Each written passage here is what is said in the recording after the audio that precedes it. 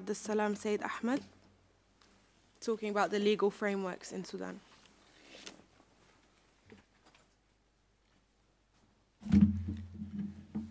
السلام عليكم السلام عليكم ورحمة الله بسم الله الرحمن الرحيم والصلاة والسلام على أشرف خلق الله سيدنا محمد بن عبد الله بسم الله الرحمن الرحيم قال تعالى في محكم التنزيل ولا تقولوا لمن يقتل في سبيل الله أموات بل أحياء عند ربهم ولكن آه، ولكن لا تشعرون. سورة البقرة الآية 154 نزلت الآية دي في آه، قتلى غزوة بدر اللي هو حرب ضروس بين كفار مسلمين ومن حقهم يقتلوا اي كمية. الماتوا فيه من من المسلمين 14 آه، ستة من الأنصار وثمانية من المهاجرين و ومن الكفار 70 نفر. في ليلة من ليالي رمضان في في في السودان اللي هو بينادوا بالإسلام والمسلمين ومليونية عبد الحي والمهم you know you know the story. قتلوا ما يقارب ل 1000 نفر. كويس. كل الجرم اللي ارتكبوه إنه بينادي بحقهم الدستوري اللي هو كان بيتكلم عنه مولانا. حق سيمبل ما دايرين ولا دايرين عمارات ولا دايرين طائرات خاصة ولا دايرين سيمبلي دايرين تو بي فوكال ويمنعوا الظلم من من الناس يعني. سو so anyway ف يعني يعني يعني ده ظلم ما بعد ظلم كويس؟ ف my interest on this topic arose when I was doing my master's at UCL. Somebody came to me, the, the first lecturer came to me, and he said, Are you Sudanese? And I said, Yes, how did you know? He said, Oh my God, I miss Sudan so much. I, I didn't know who he was. Uh, of course, then I knew uh, later on. He was Professor William Twining, the, one of the legends, uh, jurist who was uh, seconded to the University of Khartoum as a lecturer, and he, he is still uh, alive. And he said, uh, Is Sudanese laws are still like bastard? And this offended me like to the, to the maximum. And I didn't know what he meant. I said, Sorry? Yeah, he said, You heard me right. Is the Sudanese laws still bastard? I said, uh, I honestly don't know. He said, Are you not Sudanese? Yeah, I said, Yes, I am.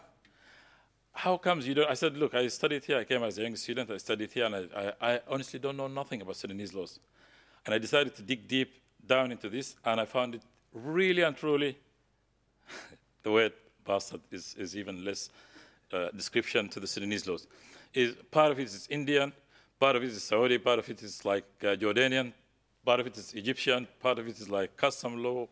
Anyway, you will see. Uh, anyway, uh, now the purpose of this talk is twofold. One is to uh, highlight the sources of the Sudanese laws and to critically evaluate the, the outcry of the so-called Sudanese scholars about Sharia laws and the fact that if the, the uh, civilians uh, government is elected, will make them lose the Sharia laws. Nonsense. Nothing of that is true. The second uh, is, of course, to suggest reforms. And I, I, by the way, this was done before the massacre of the 29th of Ramadan and, and uh, I was very optimistic. Very, uh, I was trying to uh, highlight what we need to do to reform the Sudan and the Sudanese laws to have a fair system for everybody, and to have like uh, uh, uh, to make the law accessible to everybody in Sudan, and to reform like the criminal law, the personal status law, company law, and so forth. So, uh, and this will create, of course, a fair system for everybody. Judges will have better trained, uh, will be better trained, and would have uh, justice done better in a fair system, which they have no fear of, of the ruler, of a, or dictator, of, or a totalitarian system. Now, the, the, unfortunately, there's no record, no, no study, no, nothing prior to this period, uh, which is the Mahdiya period. Uh, during this currency of Mahdiya, it's said to be, and I, and I honestly say, uh, very vague. There's no study, there's no research, there's no paper or anything that leads to something substantial or a study that shows what rule applied. But it says Mahdiya applied Sharia laws, and that's how far it goes, and nothing else uh, substantiates what was said or what was done. At least they had a fair system. At least it worked for them. At least there's no complaint or no uh, uh, uh extrajudicial killing of anybody during Mahdiya time that is uh, on record anywhere. Now, the reason why I picked this, as I said, uh, there's no record pre-Mahdiya. Uh, the, the uh, whole system was very primitive. There was no uh, uh, legal journals. And unfortunately, the first legal journal of, of the Sudanese laws was edited and was uh, created by Professor William Twining when he was in Sudan as a lecturer at the University of Law. And, and since then, I think it's now stopped almost. Uh, nobody writes anything, nobody reads anything, nobody knows anything about laws. And, and it's like uh, one man rule. And, and unfortunately, we got rid of uh, one and 10 more to go for. And we, we, we will be there and we will carry on anyway. Anyway, uh, the, the type of Sharia law that was applied, honestly, nobody knows. And then uh, uh, the customer rules were very, very strong at that time. And at least it was fair system. But uh, that uh, unfortunately brings us back to uh, what he said about uh, division in the society. That because you're Muslim, we'll apply Sharia laws for you. Because you're Christian, you will have a different rules. Because you are you, you are from somewhere else, uh, you, we will apply, uh, unfortunately, another type of law that is suitable or applicable to you. Anyway, let's move on the, the reason why uh, this was so unfair and, and there were so many systems of uh, rules in, within the same country or within the African continent that the, the, the uh, uh colonial system, I think, preferred to have like a, a different uh, plural system that kept the customary or, or, or, local courts or local magistrates and to have sophisticated uh, English judges sitting in, in, in the urbanized areas and to uh, leave the indigenous uh, legal system in place for people to be uh, judged on whatever they've done or not. In Sudan, for example, we have Mahakim al-Umad, which is unfortunately a system nobody knows what knowledge, if your father was like somebody who who was somebody, uh, you're lucky to be uh, to have this for life. It's like uh, life peerage, and you become a judge or umda, then, and you sit as a magistrate, ruling in every matter. It doesn't matter if you know it or you don't know it, if you heard of it or not, it doesn't matter. And that's how fair the system was uh, during the colonial system. Unfortunately, uh, uh, it never worked. So they kept the, the, the native courts uh, with the Umat and with the local magistrates, and they had uh, the sophisticated, uh, legally trained English judges in, in like in Khartoum. Anyway, uh, this uh, Professor William Twining was, was, he was a jurist and he was, uh, he was uh, uh, very interested in, in, in, the Sudanese laws and what went on and how they rule uh, far in the villages. Or, so he went on purpose to conduct a, a, research to Medani. He didn't go to like my village, seven days drive in 1956 to the Nubian land.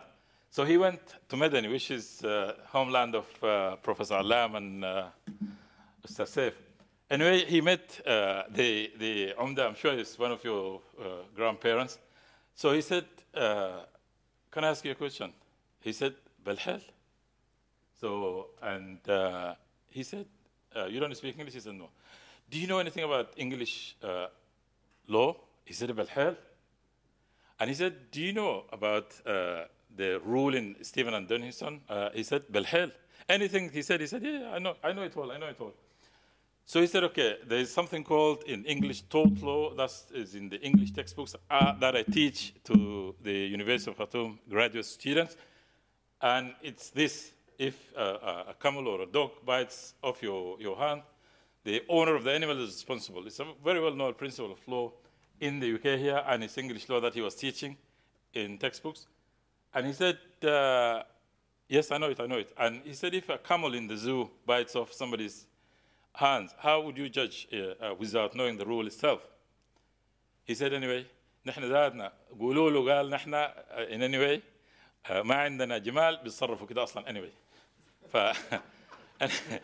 اتخيل he was very clever uh, and he had uh, spontaneous answers and and uh, I spoke to him there's very interesting essays that he wrote about this, and uh, if somebody wants to share, I have the book and I have the reference uh, to that.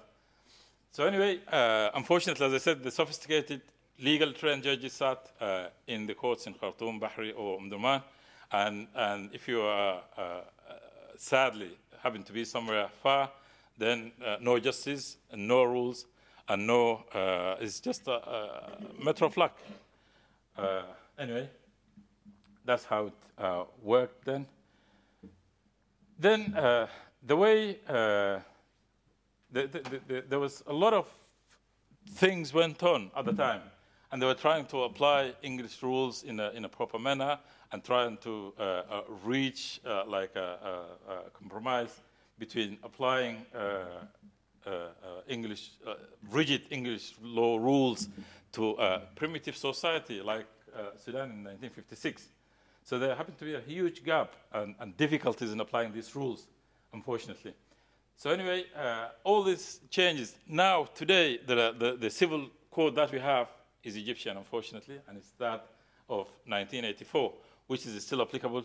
And uh, unfortunately, uh, that is a real bastard law because it's uh, based on Egyptian law, and the Egyptian law have a different, completely different system of uh, uh, French law base, and, and uh, we have English-based uh, rules which are common law, uh, and it's like, uh, anyway, you can only uh, imagine at this stage. so even though they coded it and recoded it, and, but still they went back to the 1984 civil procedure rule, and unfortunately, even that, it has a bit of Egyptian, bit of Jordanian, bit of, it's from everywhere. It's like كشري حلة كشري so development of uh, uh, English uh, or Sudanese rule during the condominium uh, Anglo-Egyptian rules. Of course, everybody knows this, uh, especially the, those of my age. This is General Kitchener. Since those days, unfortunately, we had a, a, a dictatorship system. He was the person who would make rules for Sudan so even though all the other Commonwealth countries would make their rules in the UK Parliament or they had a, a, delegated authority in a Parliament, but unfortunately the Governor General of the English, he was the only person who was entrusted with making Sudanese rules that governed us uh, uh, during that time. So the reason, as I said, uh, the way they developed it between 1980, 1989, uh, 1898, sorry, and 1956 is uh, they went through a lot, uh, and uh, unfortunately, they tried high and low to uh, find a middle ground for the applicable rules, but unfortunately, uh, the, the, the, difficulty was application of Egyptian rules in some part, and application of uh, common law rules, which is just made. but anyway, when it comes to the criminal law, you'll see the, the, the, what was done. So the customary rules it was not written anywhere. And a judge would sit and he will ask, where are you from? And what customs you follow. You, tell, you dictate your own uh, fate in, in, in court. If killing is permitted in your culture, then yes, fine, we'll kill you. So that's, that's how it works, unfortunately, following a customary rule which was not written anywhere. So, um, of course, this is uh, the first uh, uh, uh Sudanese constitution was then written. It didn't last for long, unfortunately. It was, uh, uh, it's, it's, our fate. So we, we're just so unlucky. Each time we bring, we get rid of a dictator, somebody else comes uh, on the scene and takes over. And, and despite the fact that Sudan attained its uh, uh, independence in 1956 from the condominium rules, the, the uh, reception of uh, Egyptian, English, and the other rules uh, continued until 1971. So uh, the uh, best rule that was applied at the time was the English law rules under the guise of justice, equity, and good conscience, which worked uh, partially well. But unfortunately, uh, then it didn't work very well as it, it was like different rules applied in different places, and uh, unfortunately, that caused grave injustice for everybody who was Sudanese then. So in 19, uh, between 1971 and 1973, there was some pan, uh, like Arab pro-Egyptian, uh, Babakar I think it was, the, the convert. He decided to get rid of all the other rules and bring in uh, a uniform uh, rule that works for Egypt. It must work for us as well. Why not? Just copy and paste, bring it, apply it, and it should work. Unfortunately, uh, uh, the, those who were trusted with drafting the rules were not uh, honest. They, what they've done, they copied and pasted the whole rule, which applies to a different cultural system, yeah, which is different in Egypt, based on Egyptian uh, uh, uh, and French law, and that did not work, unfortunately. So the, the reason for this failure was A, the, the, the, copying and pasting uh, included, unfortunately, in the draft that they submitted uh, for the Minister of Justice, it says like uh, Mahkamat Tanta to apply these rules in when it was meant to be for Sudanese. So even copying was done uh, in, a, in a very bad manner that uh, did not uh, work. So that uh, there was no uh, uh, commissioning of, uh, of, of, like a study or, or an attempt to introduce this in, in bits. And uh, sadly, uh, this uh, was very, very short-lived and cancelled in 1973. And they went back to the old rules, which did not work anyway. So this, uh, following the complete failure of, of the uh, civil system, uh, and this only applied to civil system, and shortly after that, it was codified like uh, a similar to uh, the uh, Egyptian, but in a, in a Sudanese way. And that was uh, done uh, uh, when the new contract law was introduced and the Sale of Goods Act was also introduced. And this bit of a shaving was done by one of those who was, I think, Mr. Zeki Mustafa. He was the dean of the College of, or, or the Faculty of Law at the University of Khartoum. It helped for a bit but it, uh, not for long, unfortunately. Let's see. Criminal law. This is where the disaster lies. Unfortunately, uh, uh, they, the, the British wanted uh, something that worked in, in the other colonies, like the, the uh, Indian uh, penal code was brought in, copied and pasted somehow, and it didn't have the hudud, but it says uh, uh, they will make any offense that uh, uh, uh, triable in Sharia law, they will make it an offense. But guess what? The three things alcohol consumption was not an offense, and then extra marital intercourse was not an offense. Homosexuality was not an offense. It's, it's, exactly like English law, but unfortunately, in a, in a society like Sudan, and in, back in those days, uh, it would have been impossible for a rule like this to, for a judge to sit there that you were caught doing an act of uh, uh, any of these. And then uh, we'll let you off because uh, we, are applying English law rules uh, in a land which is not even half, half of the society is educated it. So that didn't work again. And whoever wants to read about an, a very interesting case, the, the last paragraph is R versus Brown. Uh, some, uh, I think, uh, uh, uh, very high class people were in, a, in a, some sort of sadistic behavior, and they injured each other and they sued. And then it, was, it, it became like a disaster. This was in 1993.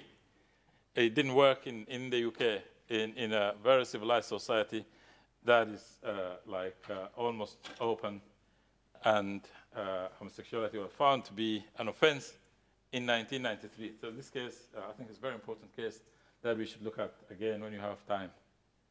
Now, unfortunately, for some bizarre reason, uh, uh, the British completely neglected uh, two, three areas of laws which are very important for, for any uh, society to uh, flourish or to, to move forward. Uh, that was a company law uh, the, the British had this uh, 1925 Land Registration Act and the 1925 or 29, I think it's 29, Company Law, Company Registration Act. So the Sudanese picked this up, uh, copied and pasted the same rule in Sudan and left it there until the company law was changed in 2018, unfortunately. Since 1956 uh, uh, or 1925, to date, uh, it, it, was left like, uh, until last year. Likewise, the Land Registration Act still in force, still uh, the same applicable rule to the land registration is the 1925 uh, British law, which I don't know how they manage, how they uh, make it work. I have no idea. The company law, for example, between 1956 and 1989 changed at least 11 times in the UK. And the, the latest act, uh, which is already outdated, is the Companies Act 2006. Uh, 10 years on, I think it needs to be changed again. So in Sudan, uh, they're, they're, very uh, uh, patient, I think, and they don't care uh, what happens. likewise, the trademark, the bankruptcy and cyberspace crimes, and so forth, none of that was in the Sudanese law books until the British left and until this afternoon, unfortunately. Now, uh, one of the, the very, very bad uh, uh, situation that, uh, uh, and this will hardly scratch the surface, that uh, uh, traumatized the Sudanese people. Unfortunately, what uh, General Numeri done in 1983, he, he decided to uh, hang around with Hassan Turabi and the other Islamist uh, uh, scholars, uh, so-called scholars, and he changed his, the way he behaved. So he decided to wake up in one fine afternoon and decided to change the Sudanese penal code to Sharia rules. We are, we are Muslims. I'm sure somebody will pick this up and put it out of context, and he will say that somebody Shia in London, kafir, he said this, and, and, and they will make a, a big scene out of it. We are Muslims and we believe in, uh, uh, in Sharia laws. But unfortunately, it, when it's applied proper, it's fair and it works. But what they've done here, unfortunately, uh, uh, it was rushed, and the draftsman that they used, they copied and pasted again uh, different rules from different parts of the world, which have like uh, a different cultural system. At least they don't have somebody who sleeps rough or somebody who uh, does not have uh, uh, or, or, where the next meal coming from, and it was also badly applied. And in Quran, the, the, the shortest chapter or surah of, of Quran يقول بسم الله الرحمن الرحيم إنا أعطيناك الكوثر فصل لربك وانحر إن شانك هو الأبتر. Uh, oh, no, not this one, sorry. Uh, I think it's. Uh, لا uh, I'll remember anyway so don't worry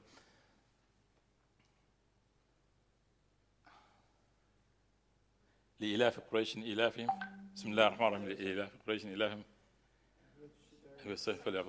الذي أطعمهم من جوع وآمنهم من خوف When you want to chop somebody's hands off, you make sure that he has eaten his uh, last uh, uh his breakfast, he has uh, somewhere to live, and somewhere uh, to, uh, uh, he has no reason basically to go and steal or to mug somebody or to rob somebody or to uh, cause somebody's trouble. Those of whom uh, uh, they applied Sharia laws and they chopped their hands, uh, at least 60 of them, they, they were non-Muslims, sleeping rough, no food, no medicine, nothing, that they, they, they or, or no homes, yeah? And uh, they will say, oh, uh, it's, not a, it's not a problem. And they will say, Allah said this and آه، حدود. Is perfect. In, in uh, سورة الكهف you will see آه، ربنا سبحانه وتعالى said يعني I will come to it, sorry. It, it, it says in, in, a, in a very, very simple way that if you want uh, uh, الفقر ما بالضرورة؟ كان عندهم سفينة. يعني ما يقول لك لا هو ده عنده شغال وموظف وسرق لازم نقطع يده. لا. No it doesn't work that way unfortunately, uh, what they want, uh, uh, they got it so bad. And, and uh, uh, في حديث عن الرسول صلى الله عليه وسلم uh, عن عائشة uh, أدرأوا الحدود ما استطعتم. It's ve- very short. حديث صحيح. أدرأوا الحدود ما استطعتم. يعني والحاكم يقول إنه آه، أحسن آه، يخطئ ويعفي بدل ما يخطئ ويقطع يد زول. Unfortunately, the so-called scholars in Sudan, they, they for, for some strange motive, I don't know what they had in mind, I have no idea. But uh, في في سورة الكهف uh, uh, كان عندهم uh, uh, سفينة. ويعني كانوا uh, السفينة دي كان لفقراء يعملونها في البحر. كان لمساكين يعملونها في البحر. فأردت أن أعيبها وكان وراءهم ملك يأخذ كل سفينة غصبا. يعني واحد عنده سفينة كاملة. كيف يكون فقير؟ هذا هو مقياس الفقر. مسكين. ما حتى المسكين. ما هو this is what I started. I started يعني when you want to chop somebody's hands off make sure he has eaten his last meal. Those people did not have simple meal at the time.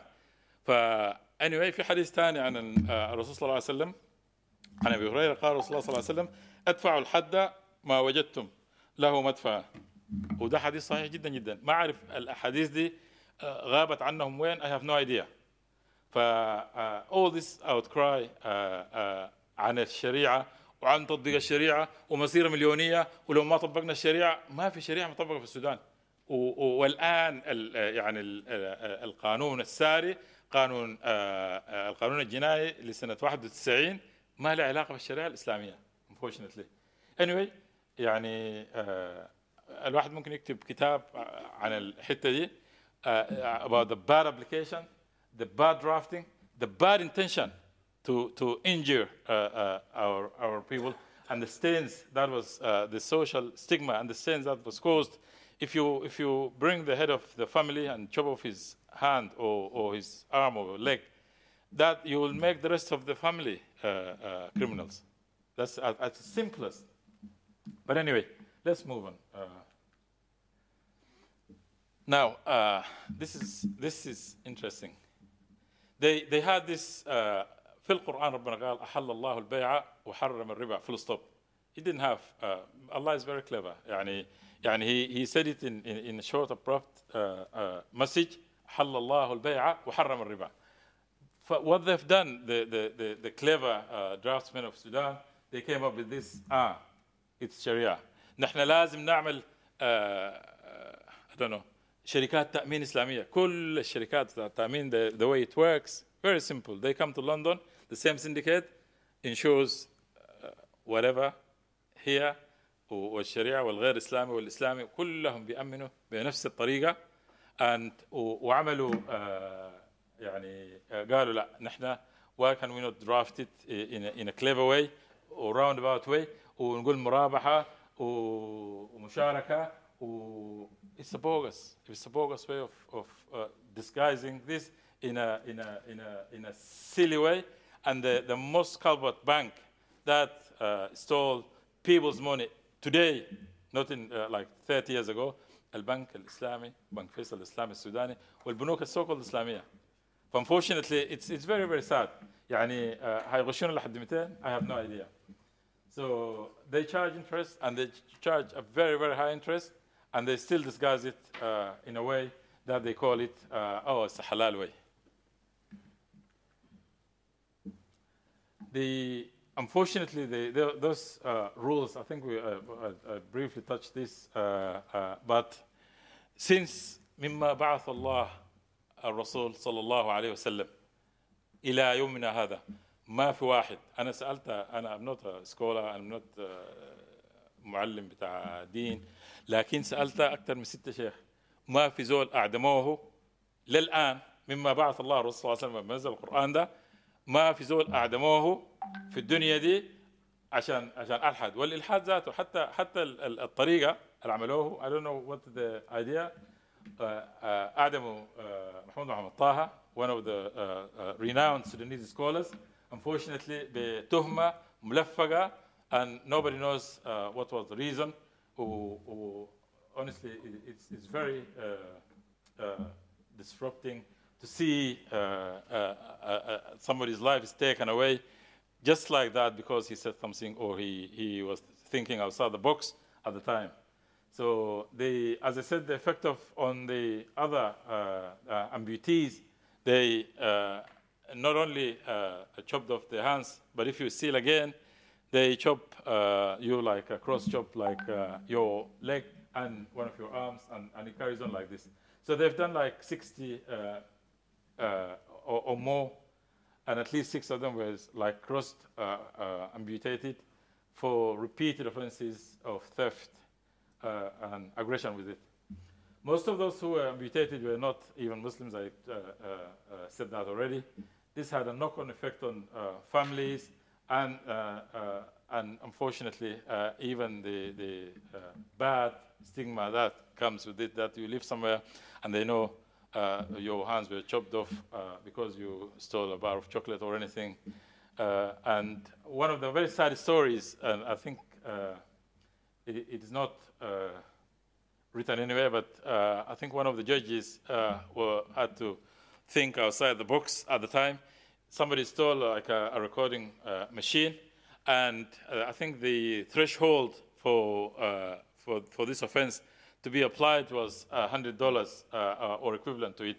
So uh, they brought an expert who uh, cleverly said, this is 95 pounds or, or, $95 worth and he said, okay, check if the batteries are inside. So they checked, there were six batteries, and he said, ah, that's the five dollars.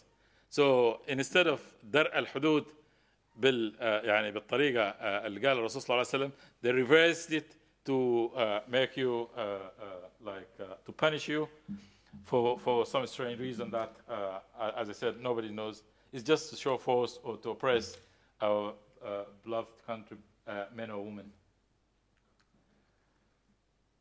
constitutional rights, uh, uh, I'm sure he said enough uh, about the constitutional rights of the citizens. Uh, unfortunately, uh, it doesn't matter what type of constitution you have. If you have uh, an oppressor who will cancel whatever was said or done in, in, in an overnight, and I think one, one of the very interesting stories that is well, very well known in Sudan uh, I think they, they created a, a Mukafat al-Fasad or something they called it, uh, and then uh, they brought, I think he has to sign off the last uh, uh, rule for, me, for it to, to be working. But when it came, uh, it says uh, in so many words that uh, anybody is not immune from this suit if this, this, this happens.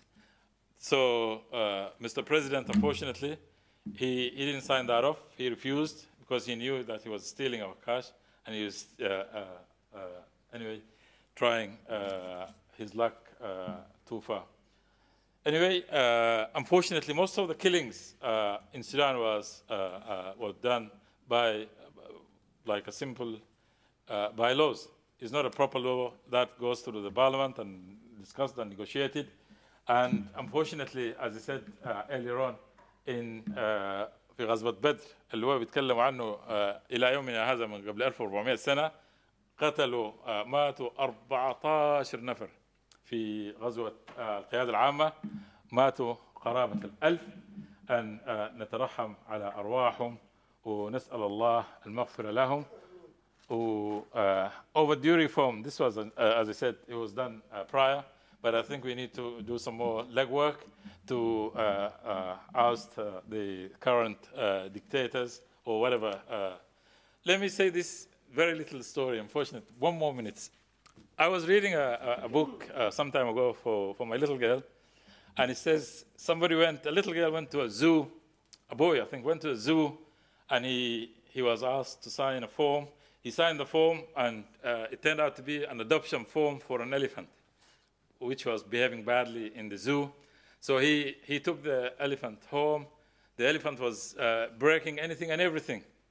So he opened the fridge, he ate every food there, and he broke the uh, fridge. He went upstairs, broke the stairs, broke the bed, and uh, uh, looted the whole house. He tried to hide it from uh, mom, and he put it in the wardrobe or, or in the closet, broke the wardrobe, and uh, this is this is what is happening. Uh, a bunch of criminals took over the presidential palace silah they have no right whatsoever constitutional or otherwise ما في ما في حد بيعرف هل ده بقوة القانون وبحق القوة ولا قوة الحق nobody knows and uh, killing and looting and stealing is a common scene in Sudan and and and for that reason خلينا should speak in Arabic عشان يزول يفهم انهم هم اللي بيعملوا ده غلط كويس وقتل النفس آه، الذي حرمه الله آه، حرام جدا في كل الشرائع والمفترض آه، يسمعوا آه، أقل شيء آه، to hand over to a civilian government and and to end this nonsense because enough is enough. Thank you very much. اسف للاطاله.